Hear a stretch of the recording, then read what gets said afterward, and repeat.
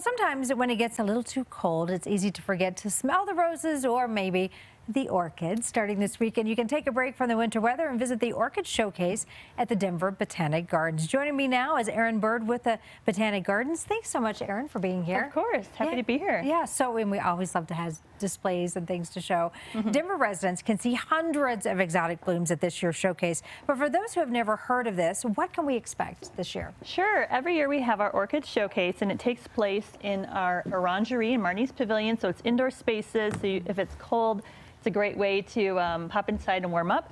And we have hundreds of colorful blooming orchids um, on display from the very common um, moth orchid that a lot of people might grow at home mm -hmm. to more unique and rare varieties um, that you may not even realize look I didn't like know an that orchid. Was an orchid. Yeah, I know, exactly. that's fantastic.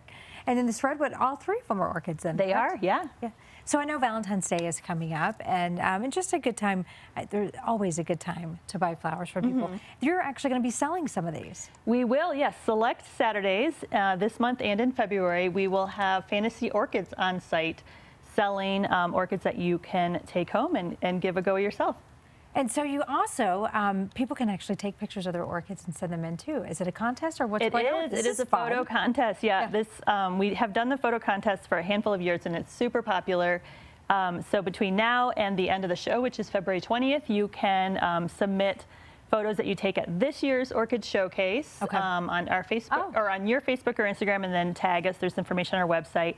And Mike's Camera is the sponsor, so they are giving away gift card prizes. And then also the three top winners get to take home an orchid from the display. Oh, fantastic. So a quick question for you. I love orchids. Uh, they're always so pretty and they're such great gifts. I know so many people like to give them as gifts. But um, are they difficult to take care of? Or what's kind of the secret to, to getting them to rebloom? Everyone says they can be super easy and then I get it and then I can't get it to bloom again. So how do sure. you get, how do you take care of one? Um, well, orchids do kind of have a bad rap of being like, really hard to yeah. take care of and persnickety. And some of them do require, like some of these more unique varieties, do require very specific care.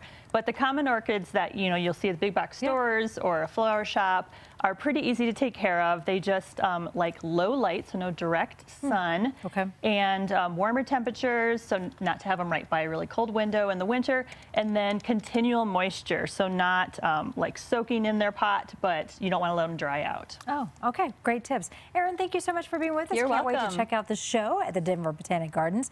And remember, you can learn more about the Denver Orchid Showcase right now on our website. We got all the info there for you, cbscolorado.com.